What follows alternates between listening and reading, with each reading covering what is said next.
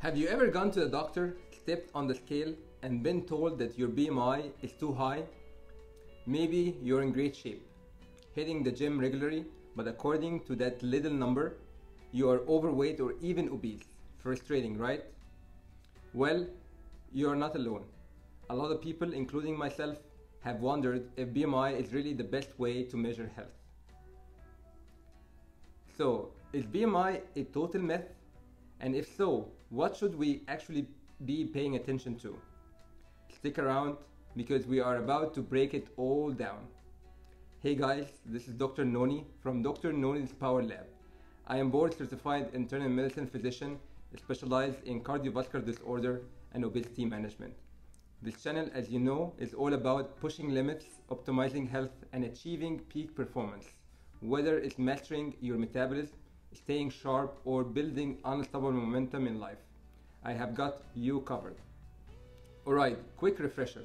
What is BMI or Body Mass Index? It's just a simple calculation. Weight in kilogram divided by height in meter square. That's it. No fancy tests, no consideration of muscle mass, bone density, or body composition. Just your weight relative to your height.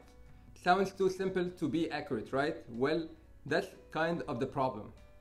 BMI was actually developed in the 1830s by a mathematician, not a doctor, named Adolphe Quetelet. And while it is useful for a broad population studies, it falls apart when applied to the individuals. So why BMI gets it wrong? Think about this. Two people can have the same exact BMI. One could be a bodybuilder with 10% body fat, while the other have excess fat with very little muscle. Yet, according to the BMI, they are both labeled the same. Here's where the BMI falls short. Number one, it doesn't differentiate between muscle and fat. That's why so many athletes and fit people get classified as overweight or even obese. Number two, it doesn't consider fat distribution. Carrying fat around your belly is much riskier than having it in your hips or thighs. But BMI treats all weight the same. Number three, it ignores other health factors. You could have a normal BMI but still have high visceral fat, insulin resistance, or other hidden health risks. In fact, a study published in the International Journal of Obesity found that nearly 50% of people classified as overweight by BMI were actually metabolically healthy. Meanwhile, a chunk of people in the normal BMI range had underlying health problems. So BMI is not the gold standard. What is? If you really want to know whether your weight is healthy or not, body fat percentage is the real game changer. Body fat percentage tells you how much of your weight is actually fat versus lean muscle, including muscle, bone, organs, and water. That's the way more useful than just looking at total weight. It differentiates, differentiates between fat and muscle.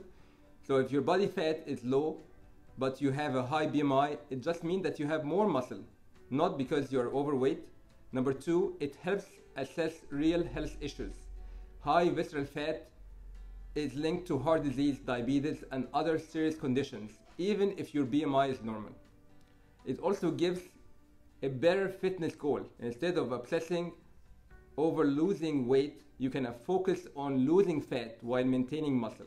A study in the American Journal of Clinical Nutrition found that body fat percentage is much stronger predictor of health outcomes than BMI. So if you want a true picture of your health, body fat percentage is a number to watch. So how to measure it then?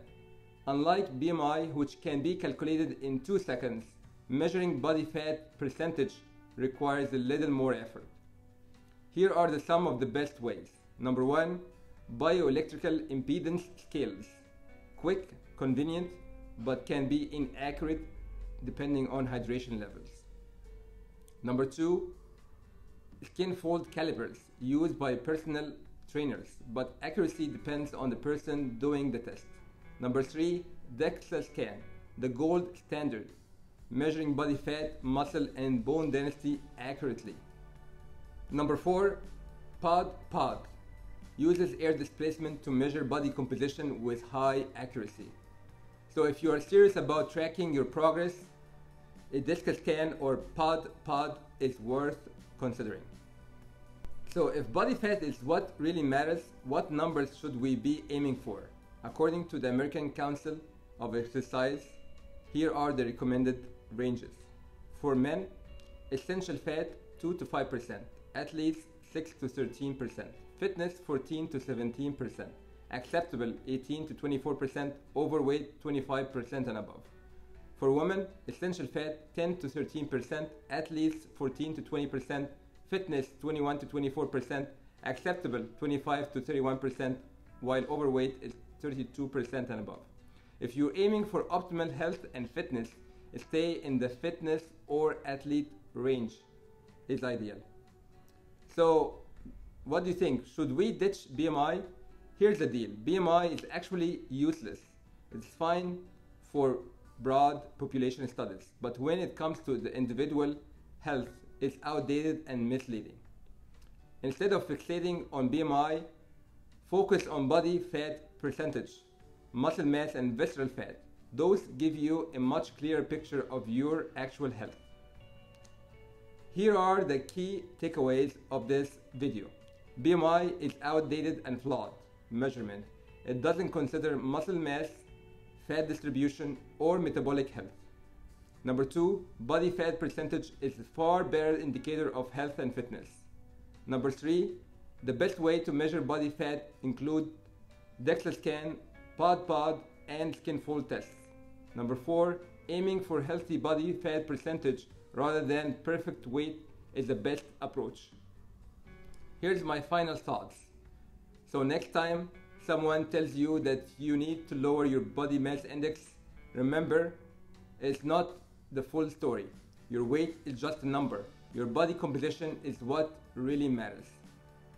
If you find this helpful, don't forget to hit like, subscribe, and turn on the notifications so you don't miss my next video. And let me know in the comments below, have you ever been frustrated by your body mass index? And what's your experience with body fat measurements? Let me know, I'm waiting for your comment. Have a wonderful day. See you later. Thank you. Bye bye.